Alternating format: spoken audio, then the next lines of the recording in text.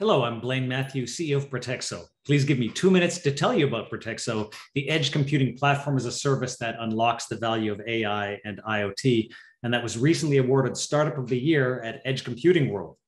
Now, if you're listening to this, you already understand that IoT has gotten to the point that it is no longer smart or even possible to push all data to central clouds. That's where edge computing comes in. But creating and managing such systems is not easy or fast. That's why we created Pratexo to radically accelerate and simplify the process of designing, provisioning, and then managing an edge to cloud architecture that can support intelligent applications all the way to the far edge.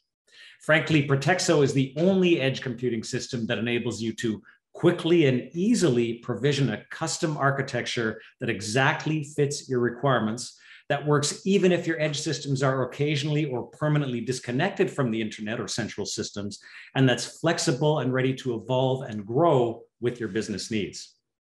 Applications that have been built on Pratexo include those that make your building smarter and greener, uh, manufacturing systems working to improve quality or efficiency, solutions that prevent equipment and machines from breaking down, connected infrastructure such as power grids and communication networks, and systems working to improve human safety or security in real time.